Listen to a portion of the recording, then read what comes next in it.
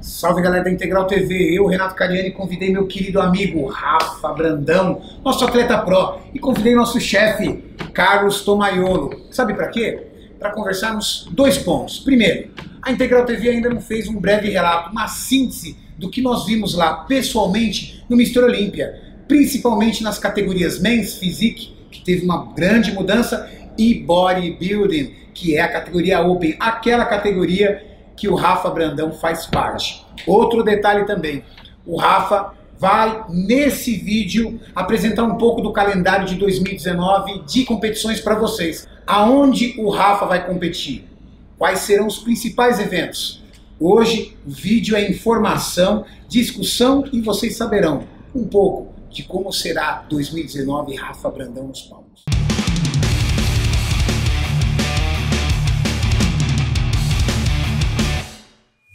Rafa, temos um novo Mr. Olímpia na Open, Shaw Roden. E aí? Bom, eu acho que foi merecidíssimo.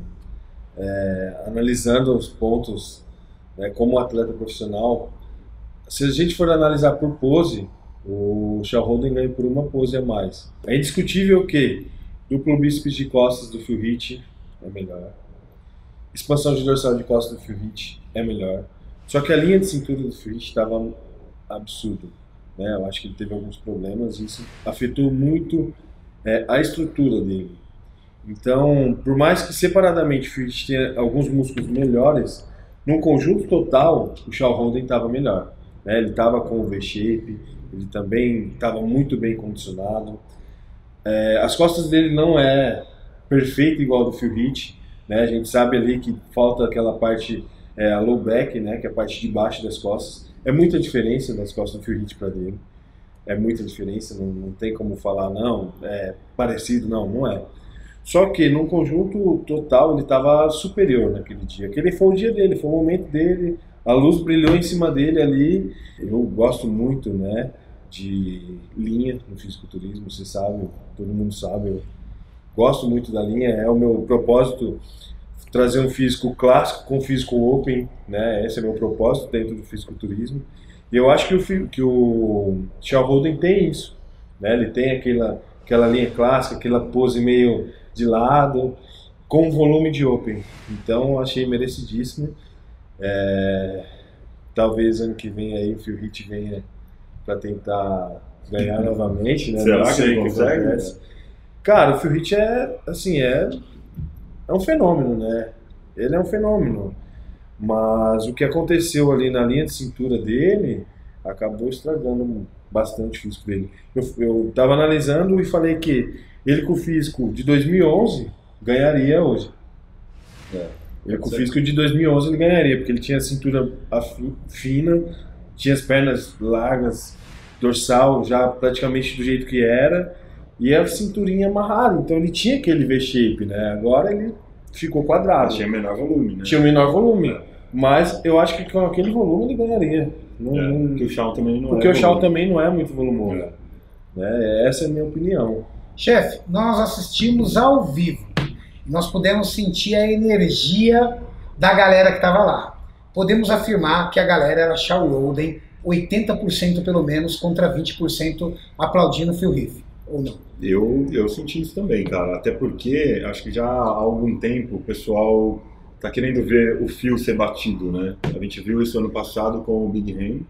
Então a galera torceu muito pro Big Ham, até ficou aquela coisa de que não, o Big Ham merecia, merecia. e tal.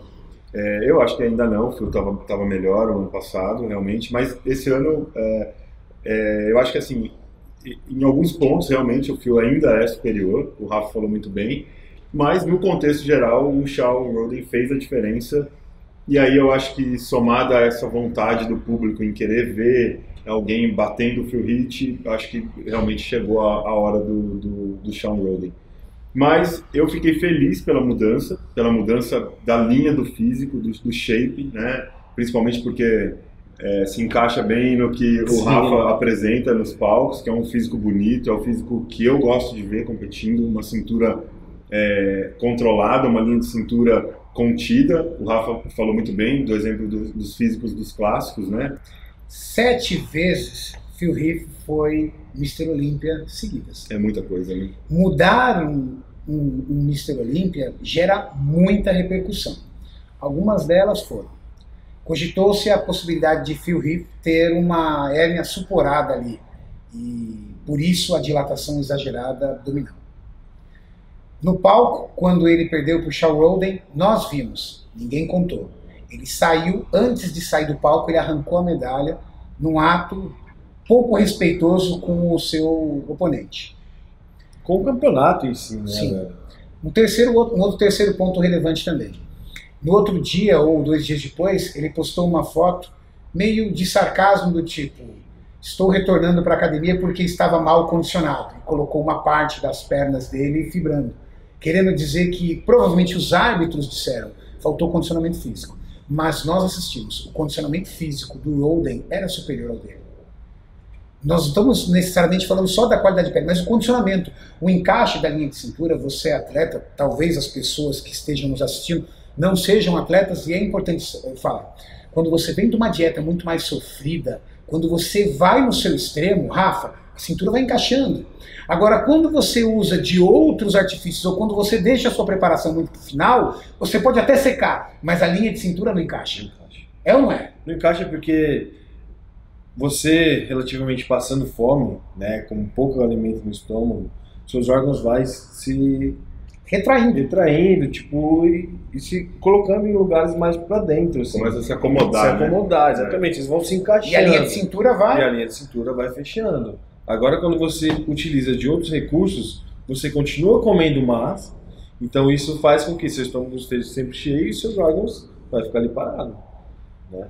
Então eu acho que faltou um pouco disso para ele também. Dá, dá para perceber que a, o Shaolin postou uma foto que estava nossa, extremamente condicionada, assim, uma foto à luz é, do dia, assim, nossa, velho, tava muito foda, tipo pele e músculo. E a cinturinha amarrada, então deu pra ver que ele ralou, que ele realmente fez o trabalho que tem que ser feito e apresentou o melhor físico da vida dele, né? Algumas pessoas, chefe, dizem que Phil Heath não foi pela oitava vez Mr. Olímpia por uma punição, porque ele não merecia ter os oito títulos que Ronnie Coleman tem pela carisma do Rony e falta de carisma dele. Avaliando frente, lado e costa do atleta Phil Heath e do Roden, houve punição ou houve mérito pro Roden? Não, acho que houve o mérito pro Roden, acho que ele estava realmente mais bem preparado. As poses todas de frente ele dominava fácil, fácil. As de costas, realmente, por esses problemas que o Rafa já citou, né, essas diferenças, ele realmente tinha uma certa desvantagem, mas ele estava extremamente seco. Muito, muito, muito condicionado. E eu acho que isso prevaleceu ali para aquela noite, para aquele momento do que os árbitros queriam ver para o próximo Mr. Olímpia. É, agora, essa questão dele igualar os títulos do Rony, eu particularmente também acho que não merecia. Ele não merecia ser lembrado na história como a gente lembra do Rony Coleman, né? Do Rony e do Lihane, né? Não podemos esquecer do Lihane, que também tem oito títulos. oito títulos. Esses dois, ao meu ver, realmente merecem ser lembrados para sempre. Não que o Phil não mereça, mas não, mere não merecia ser colocado ao lado do Ronnie Coleman. Isso eu acho que não. É, em todos os sentidos. Eu acho que não como atleta, porque jamais ele chega perto de um Ronnie Coleman. E também das atitudes fora do palco, no comportamento dele como um herói, como um ídolo. É, também é bem diferente do Ronnie Coleman. Então, acho que por isso, a minha opinião pessoal é de que ele não merece ser colocado do lado de um Ronnie Coleman. Eu tenho uma concepção também que eu queria passar para vocês e queria que vocês concordassem ou discordassem. Nosso esporte não tem linha de chegada. Então, os árbitros, eles precisam construir também, de certa forma, um conceito. Talvez o retorno do físico estético esteja sendo demonstrado com a vitória do Roden, do tipo, calma, vocês estão indo para um caminho freak demais. Isso aí, vocês estão perdendo o controle do que, a, a, do que deveria ser. Sabe por quê? Porque tem a vitória do Roden e a queda do Big Ramy. O Big Ramy caiu muito. Tem essa, é. Então, talvez o que o fisiculturismo queira resgatar, que eu, se isso for verdade, isso vai me deixar extremamente feliz, pessoalmente falando, porque sou um amante do esporte, é que Não basta você ser grande, você tem que ser bonito. É. As pessoas têm que ver o seu físico e falar assim, cara, como é que se constrói um físico tão perfeito como esse? Não do tipo, cara, que barriga horrorosa. Esse cara realmente é um atleta? É, e a gente vê que a Holly Winkler, cara, é um exemplo disso. O Holly Winkler subiu demais. Por quê? Ele melhorou muito a linha de cintura. Não, Lá, lá, no, lá no, no Mister Olímpia, esse ano ele foi o É estranho. que tinha Parece até que foi costurada a barriga É. dele com, a- com as costas. Essa Tem é um buraco que particularmente eu tenho. Não tenho é, conhecimento nesse nível profissional, mas como é que um atleta consegue reduzir aquilo, né, cara? Parece que Porque- ele costurou o estômago nas O costas. que, que esses caras fazem para Entrou. partir do que ele tinha, né? Porque ele já foi Muito barrigudo. citado como um exemplo de extrema Palumboísmo. dilatação. Mas Ele, ele- é um exemplo de palumboísmo. Ele, É, ele é. perdeu 10 pounds também, né? Então você vê que é o trabalho que o Renato tá falando, é o cara fazer a dieta até o fim. Até o fim. É o cara não utilizar de outros recursos para chegar no condicionado. É o cara realmente sofrer. Que é o que vai fazer o estômago ali voltar. E outra, também ele, ele deve ter feito um trabalho de, de controle do abdômen, né? Tem Um fazer, trabalho de né? vácuo, alguma coisa. Um exercício para criar consciência É. de controlar, né? Sim. Não só na hora da pose, mas nas transições. É, Porque é na hora das transições da- das poses que você que relaxa. você vê, toda- se revela. você- você vê as fotos de todos os caras lá barrigudos. Entendeu? Então, isso é algo muito positivo que eu vi no Holly Winkler esse ano, que ele conseguiu não só melhorar a linha dele, porque ficou um V-shape bem melhor, mas como na transição de pose também, ele conseguiu criar consciência de segurar. Ele se controlou, né? Se controlou, exatamente. Ele fez um trabalho para aquilo. Né? Então, a gente vê que realmente a linha é algo que vai começar a ser predominante novamente. Né? Ó, o físico do cara, o que, que é aquilo? Nossa, O físico daquele hoje em dia não tem. Um vácuo absurdo, É, uma cintura fina, né? Fino, um braço enorme, as costas é, muito foda, totalmente trabalhada também, entendeu? Então acho que tem tudo pra. Tem tudo não, tá voltando, né? Até porque o pessoal tava reclamando muito. É. Os amantes do esporte estavam, pô, muito feio. É, É. que barriga, isso daí não é fisiculturismo. Então acho que eles começaram a perceber isso, né? É, começa a levar para um lado de que quanto maior, melhor, né? Começa a deturpar os conceitos de, né, os critérios de avaliação, de arbitragem, de que realmente escolhem o melhor, né? E, e não é necessariamente o maior. Então acho que essa questão freak, apesar de que comercialmente falando isso chama atenção, isso vende, isso atrai, né? A gente vê até caras que não competiam, mas que eram extremamente freak, o exemplo do, do Ricky Piana, que é um cara avesso ao atleta, né? Porque tinha muita local no corpo inteiro, era um cara que tinha um comportamento totalmente avesso a um comportamento de um É um atleta. personagem, né? Era um personagem, mas era um cara que chamava atenção porque, aos olhos dos leigos, pô, olha o tamanho do cara, o cara é freak demais, o cara. É, ou, ou outros mesmo que competiam e tinham seus, seus fãs, como o Marcos Ruhl, né, que era, era um exemplo disso, Paul Delay, eram caras que eram gigantes, que nunca tiveram muito destaque né, entre os, os top 3, aí, entre os vitoriosos, mas tinha sua legião de fã, tinha as pessoas que admiram o freak. Imagina se o Big Ramy, é, cara, ele é, é fora do comum. Ele é um cara, tipo, tipo, é difícil ter outro daquele entendeu? né? Imagina um cara desse, o, o Mr. Olympia, ele se torna um padrão de um esporte, né? De, de um esporte gigantesco. Imagina se o Big M se torna um padrão desse esporte. Outra queda. Buendia. Jeremy Buendia, lesionado, correu atrás do prejuízo. Temos que tirar o chapéu para ele, porque ele lutou e lutou com tudo para tentar segurar seu time. Mas não conseguiu. Quarto colocado. Perdendo para Brandon Henrickson. E, infelizmente, vimos o Buendia, que é um show de carisma também, um cara fantástico. Carlão e eu vimos Flex Lewis foi o último a sair do meet and greet. Uma hora e vinte após o término, ele continuou lá para tirar foto com todo mundo. E de bom humor, hein? De bom humor. De bom humor. E bom dia também. Enquanto todos os fãs dele não foram atendidos, ele se manteve lá. Mas ele perdeu. E aí, o que, que vocês acharam? Cara, eu acho que, no meu ponto de vista, o que aconteceu com ele foi o seguinte: ele teve a lesão, né? ele teve um rompimento do, da parte superior do peitoral, e algumas, alguns dias antes, ele, ele postava, postou fotos e vídeos, ele estava extremamente seco. muito seco. Eu acho que o que aconteceu com ele foi que ele muito seco fez ficar muito evidente o hematoma dele. E aí eu acho que ele tentou encher um pouco mais o físico e acabou subindo com um pouco de água. Foi porque ele não subiu bem condicionado. Né? A gente viu que ele não subiu bem condicionado. A meu ponto de vista, acho que foi isso que aconteceu. Mas assim, ele para mim, cara, é um dos físicos mais bonitos que tem. Ele é muito encaixado, uma cintura muito encaixada. Eu Mas a sua observação é boa, Rafa, sabe por quê? Tem que haver alguma explicação.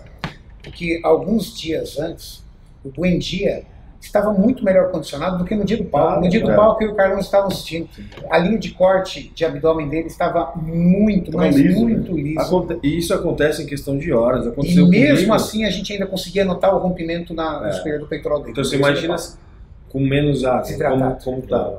Entendeu? Então eu acho que isso foi uma estratégia que ele deve ter usado no momento.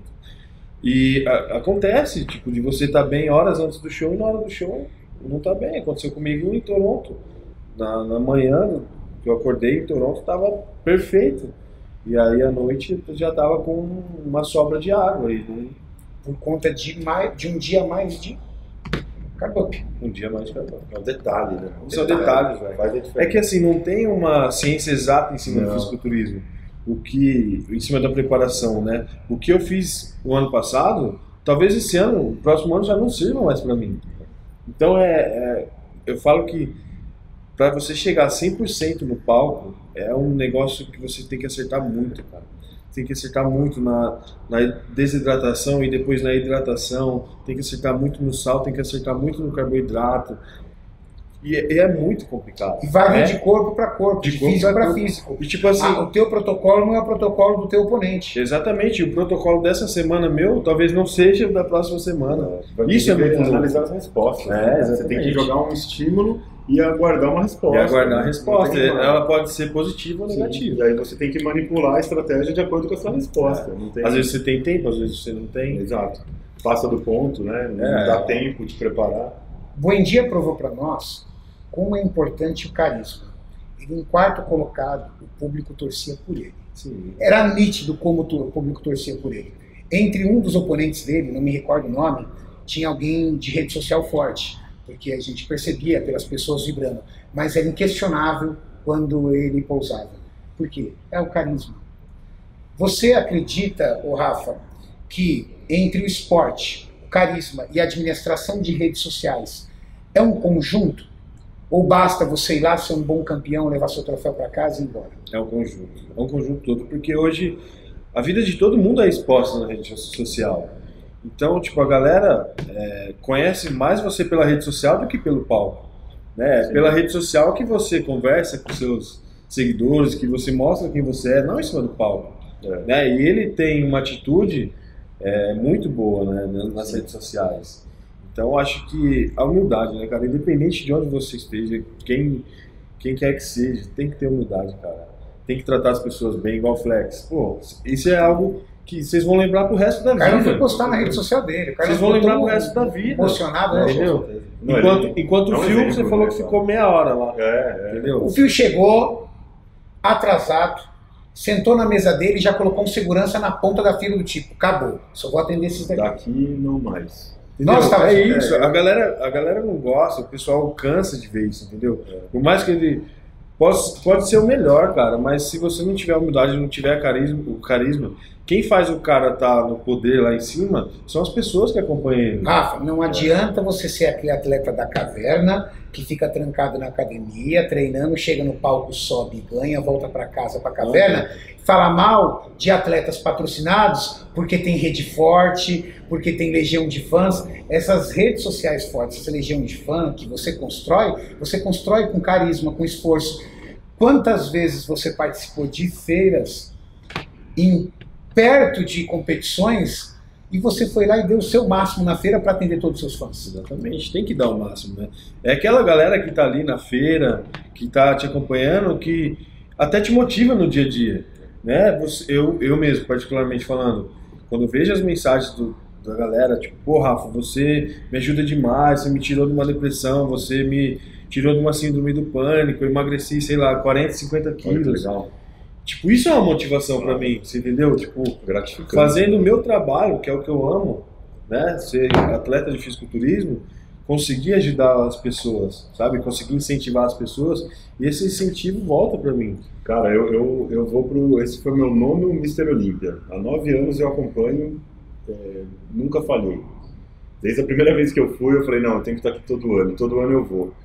Eu me lembro no primeiro ano que eu estive lá, foi em 2010, eu via o Jay Cutler no stand do patrocinador atendendo uma fila gigante durante os dois dias de feira. No dia da prévia, na sexta-feira, e no dia da final. Ele competindo. sábado. Ele competindo. Ele lá, pintado, de regata, atendendo todo mundo. Então, a partir do momento que eu vi aquilo, eu falei, cara, esse é o exemplo. Né? Enquanto aqui no Brasil a gente vê atleta que, pô, não, não posso aparecer porque eu vou competir, aí ninguém pode ver meu físico, não, porque eu tô debilitado. Cara, o, o Mr. Olímpia tava lá, atendendo o público, atendendo os fãs. Nosso querido Diogo Montenegro, participando pela sua quarta vez seguida do Olímpia, quarta vez seguida no Olímpia Pro, conseguiu um 13 terceiro colocado. Eu particularmente fiquei muito feliz e satisfeito, porque ele literalmente se tornou o 13 terceiro melhor do mundo numa categoria que Nossa. tem muito atleta, Muito. muito atleta, mas É muito pedreira. é pedreira. Não existe categoria que tenha mais atletas, tanto no amador como no pro, que o Men's Physique. Eu acho que ganha até das biquíni. Então, é, ele não pôde estar presente aqui conosco, ele mora no, no interior do Paraná, mas o que nós gostaríamos de passar para o Diogo é a nossa satisfação e alegria como brasileiro ver um atleta representando o nosso país no Pro, tornando-se 13 terceiro colocado no Olímpia e provavelmente tem novidades aí, ele vai trocar, vai vir com um treinador novo, para que em 2019 ele apresente um físico renovado e mais volumoso, que foi o que faltou. Faltou Condicionamento físico indiscutível. muito bom. O que falta é volume para chegar perto dos americanos. Eu vi o Diogo, é, eu achei o Diogo melhor- no melhor físico da, da carreira dele. Eu acompanho o Diogo já há alguns anos, meu amigo. É, eu achei ele no melhor físico da carreira dele. Algumas pessoas dizem que no Muscle Contest, onde ele ganhou do Felipe Franco, ele estava com o melhor físico do que no Olímpia. Eu acho que não. Ele conseguiu chegar mais seco, mais condicionado para o Mr. Olímpia. Gostei muito do físico dele. É, a gente fica feliz, claro, com a, com a posição, mas é, satisfeito não, porque a gente quer mais. Né? Então a gente é, aposta muito no Diogo, a gente sabe que ele tem condições de, de se tornar um Mr. Olímpia na categoria Men's Physique, a gente torce muito para isso, a gente está trabalhando muito para isso, ele tem nosso total apoio, nossa confiança nisso, ele corresponde muito bem, ele é um, um atleta excepcional, dedicado, um cara extremamente profissional, vem se comportando cada vez mais como um profissional, então fica aqui a, a- a nossa admiração cada vez maior pelo Diogo. Rafael Brandão, em 2018, por um pontinho, não foi por Olímpia. Rafa, qual o plano? Cara, esse ano foi foda, né? Foi muito bom. É, fiz uma, uma jornada em um mês, né? Que eu poderia ter feito em um ano, talvez, mas Relembra o pessoal quantas competições foram. Eu fiz o New York Pro, aí na semana seguinte California State, aí na semana seguinte Toronto Pro e depois o Kansas City. Legal, foi incrível. Foi incrível, foi uma sensação assim Você assustou a, a galera. Fizemos que eu um vídeo tava precisando, né? sobre isso. Sim, foi uma é, relativamente uma primeira impressão, né, novamente, porque o San Marino foi um campeonato legal, tal, fiquei em oitavo, mas não deu esse impacto, né, tão grande como foi o New York, como foi o California State, né, que até conversando com o Theo, que ele falou que se perguntar para ele o que marcou é, o ano dele, né, como árbitro de fisiculturismo, ele vai falar para todo mundo que foi ver o Rafael Brandão brigando lá com o Nathan, Pô, que legal, né, no California State. Então, realmente foi algo que impactou bastante, deixou a galera de lá com uma expectativa muito grande também em cima, porque eu consegui apresentar um físico que é o que a galera estava pedindo, Sim. que é um físico harmônico, estético, e é o, o meu ideal, é o que eu trabalho em cima disso todos os dias. Então, cada vez mais eu vou apresentar um físico mais estético, um físico mais harmônico e acrescentando volume, lógico. Off-season a todo vapor. Off-season a todo vapor, estamos. Falta aí mais três meses de off-season. Então hoje eu tô com 123 quilos, né? E a meta é chegar até 130. Mas não fazer aquele. Não chegar, sabe, gordo, com muita retenção. Realmente é um trabalho difícil, porque é o que eu estava comentando com vocês aqui agora, ingerir é, uma quantidade alta de alimento limpo é muito difícil. Cara. Chega uma hora que você cansa, chega de noite e dorme a cabeça, de tanto mastigado durante Cada refeição em torno de 30, 40 minutos mastigando. Então é um trabalho, mas é um trabalho que você tem que estar com a mente forjada para fazer, porque se você não fizer, vai ter um cara lá fora que vai fazer e você vai chegar lá e vai perder o cara. Off-season com ganhos reais. Ganhos reais. Pouca retenção, pouca gordura. Mantendo um treinamento intenso, mas, acima de tudo, comendo extremamente limpo. Bater 7 mil, 8 mil calorias com alimento limpo é não é coisa para brincar, é, é brincadeira de né? menino, não. É, é brincadeira de gente grande. Gente grande, exatamente. Mas nós tivemos uma reunião aqui, nosso chefe, nós três aqui tivemos uma reunião para alinhar um pouco do calendário do Rafa. Claro, não dá para passar o calendário inteiro, mas dá para passar alguma novidade pessoal aí, Rafa? Dá para passar uma novidade que eu acho que vai ser marcante aí pro pessoal, marcante pro fisiculturismo no Brasil. Né? Eu acho que vai ser um campeonato que todo mundo vai querer estar lá, né? ainda mais com, com o crescimento do esporte em si, é, com, esse, com a rede social, né? dando todo esse suporte para a gente divulgar mais a nossa vida, divulgar mais o nosso esporte, então a galera se sente como se fosse da família. Às é. vezes eu encontro as pessoas, pô, Cara, eu tô aqui, parece que eu sou da sua família, sabe? De tanto que eu te acompanho. Fica próximo, né? Então, é com grande prazer que eu anuncio que em 2019 estarei participando do Arnold Classic Brasil. Opa! Aí sim! É, o Arnold Classic Brasil hoje é Pro League, pessoal. Exato. E recentemente recebemos a informação de que haverá a categoria Open Pro no Arnold Classic Brasil. Vai se preparando aí quem é do Brasil, quem é de países próximos, quem é da Europa, a galera de Portugal que acompanha Integral TV, já vai reservando sua passagem. Em abril, nós teremos a categoria Open do Bodybuilder do Brasil, no Arnold Classic. E quem vai participar representando nosso time? Rafael também. Isso aí entrou para a história, hein? Rafa, nós temos pouco mais de seis meses para esse evento. Você costuma fazer uma preparação de quanto tempo para um campeonato desse nível? Cara, a preparação já está acontecendo. Já está acontecendo. Já comecei com. A gente já alinhou isso, já tem um mês e meio que está acontecendo a preparação. Você já começou? Já, não, não tem essa ah, de três meses de pré-contest. Não, minha preparação é a partir de agora. É. O que eu faço agora, eu, eu planto agora para colher depois. Em três meses eu não faço nada, eu só lapido. Então é, já está acontecendo, a preparação é agora. Já começou. Já e, começou. E quanto tempo você vai ficar no off-season para começar o seu pre-contest? Agora eu vou no. É assim, no off-season, né? Até o final do ano, assim, começo de dezembro mais ou menos. E depois a gente vai fazer algumas estratégias, lógico, para dar um início no pré-contest. Porém, por esse off-season ser um off-season limpo, limpo, a gente eu não vou ter ganho de gordura, uhum. sabe? Eu não vou ficar com aquela pele que eu vou precisar de seis meses para secar. Sim. Então é um trabalho que vai precisar simplesmente de ajustes. Então daqui para lá vai ser ajustes, entendeu? Então eu considero como se a preparação fosse daqui para lá.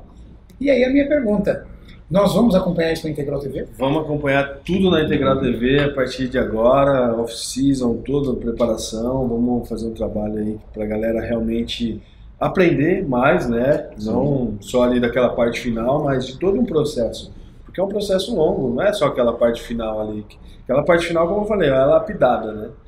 Então é, o processo é a partir de agora. Então vamos acompanhar, mostrar para a galera aí tudo que puder soltar de informação para eles, eles realmente aprenderem e, e ver o que, que é o fisiculturismo real. Né? Isso aí, pessoal. Nós convidamos vocês a acompanharem essa preparação do nosso querido Rafa entender que não é só treino, comida e dieta a vida de um atleta profissional. Ele tem problemas para administrar, ele tem uma vida. Tem vídeos que eu assisti do Jay Cutler que era fenomenal. A gente via ele discutindo às vezes com a esposa, a esposa reclamando porque ele pedia para ela, ela, ele pedia para ela depilá-lo. Às vezes ela, ele estava na hora de comer de novo, ela, eu já sei, eu já estou fazendo, eu sei quais são os seus horários, sou eu que controlo. É o dia a dia. E isso é gostoso, isso deixa a gente mais próximo do atleta. E quando chega no palco, a gente está ali junto com ele. É, Nós queremos a galera da Integral TV com você ali no palco, Rafa. Nós estamos torcendo muito por você. Você é um jovem de 25 anos de idade que faz uma história linda no fisiculturismo e representa muito bem o nosso país. É isso aí, eu queria agradecer imensamente você, o Carlão, a Integral Médica, a Darkness, por todo esse suporte, todo esse apoio e por acreditarem nisso mais do que eu. Né? foi muito. A gente bateu muito nas ideias, então, assim, desde que eu entrei, eu me senti muito bem acolhido e muito bem amparado. E vocês têm a mesma ideia que eu, até mais, vocês acreditam mais do que eu ainda, se duvidar. Então, isso me traz uma energia ainda maior, me traz uma motivação ainda maior para apresentar o meu melhor, não só por mim, mas por todos vocês, por toda a minha equipe. Porque isso é o trabalho aqui. Por mais que eu me apresente sozinho lá no palco, sozinho não faço nada até chegar lá. Entendeu? Então, eu agradeço muito o suporte de vocês, toda a minha família, todos os meus amigos que estão nessa jornada e acreditam é, nisso tanto quanto eu. Então, me sinto realmente amparado e ah, vou mostrar o meu melhor. O Rafa Bernardes, o Vitão Capial, o, doutor, o André Físio, é uma galera aqui. É, eu tenho, graças a Deus, eu tenho uma equipe muito boa, sabe? É, do meu lado, uma equipe que realmente acredito desde o início, desde quando eu comecei, desde que eu não era ninguém, desde que eu falei, meu, acho que eu quero competir a galera acreditou em mim. Esses que estão do meu lado até hoje. E agora é, vocês. É, é importante esse suporte, né? Não podemos esquecer da Karen, né? A Karen é. Se não fosse ela, nada disso teria acontecido. Metade da na, na vida do, do Rafa. Ela né? é essencial na minha vida. Com né? certeza. A gente vê isso ela... e a gente valoriza muito, porque é, a gente passa essa imagem de que não é uma máquina, de que é um não, ser humano, de que ele tem uma vida, de que ele tem uma família, de que ele tem amigos. Acho que a Integral TV ela consegue transmitir isso de forma muito perfeita Sim. nas mãos aqui do Renato, que consegue realmente mostrar a realidade do fisiculturismo, é né? e não só aquele filminho bonito lá em cima do palco. Sim, é legal a gente estar tá mostrando né, essa relação minha com a Karen, porque realmente ela é um suporte ali que sem ela não estaria aqui hoje, sabe? Ela realmente é tipo, velho, ela faz tudo para que isso aconteça também. Ela acredita muito nisso, ela vive isso comigo. Vive, vive. E ela arbitra teu físico. É. é, eu já vi. É. Ela arbitra o físico dele. Ela, ela, é, ela é bom ter essa análise, muito, né, cara? Cara, é, pra mim isso é sensacional, sabe? Quantos caras não queriam ter uma mulher que sabe analisar o físico Pô. e sabe te falar assim, ó, você precisa melhorar ali. Ajuda muito, né? Cara, quantas vezes ela já falou Crítica, pra mim, mano, né? Coloca mais carga no seu treino, não tô te vendo treinar, cara. Ô, louco! Ô, isso ô, louco! Ela e pior que ela tava certa. Puxa daí, pra cima, né? Porque cara? daí eu vai, ia lá no próximo é, treino. Vai, frango. Porque eu ia no próximo treino e colocava mais, eu vi o resultado. Olha então, isso, cara. Ela pra mim é, tipo, fundamental, velho. É fundamental. Eu quero aproveitar para agradecer em nome da Integral Médica, em nome da Darkness, é, ao Rafa por toda essa dedicação aqui, por todo esse carinho com a marca, por todo esse carinho com os nossos fãs, com o nosso público, com o nosso consumidor. Isso é, a gente tem que valorizar bastante, porque o Rafa é um cara diferenciado e a gente só tem a agradecer e estar muito feliz de ter o maior representante do fisiculturismo brasileiro aqui conosco no nosso time. A gente se orgulha muito disso. E quem gostou do vídeo? Quem gostou do vídeo, curte, compartilha, chama todo mundo para assistir. Vamos mostrar para todo mundo a preparação do Arnold Classic Brasil 2019 que vai pegar fogo. Vai vir o melhor shape do Rafael Brandão na história, shape, é isso? Pode acreditar que vai ser o melhor shape da minha vida Nossa, em 2019. Não perco por nada. Tamo junto. Valeu, galera.